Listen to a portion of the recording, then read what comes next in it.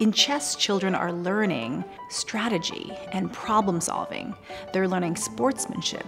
They're learning how to be patient, to think through their moves well in advance.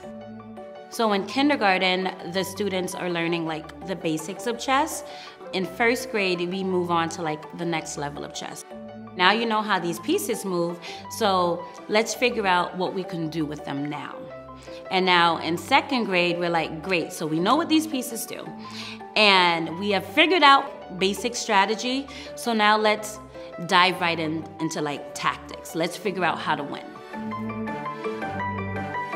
Chess club is more challenging than a regular chess class. We sit down and like really focus on like the big ideas behind why we make the moves that we move. We learn a lot from looking at old games from like 100 years ago. How do chess masters think when they play?